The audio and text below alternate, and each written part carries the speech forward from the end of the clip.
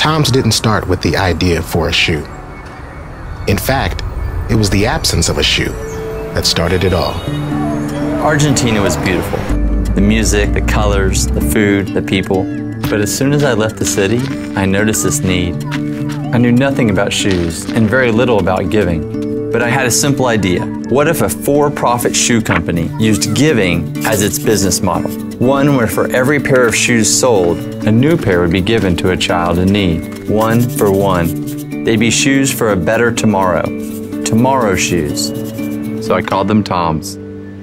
I remember boxing some of the first Toms at Blake's apartment. We sold 10,000 pairs that first summer.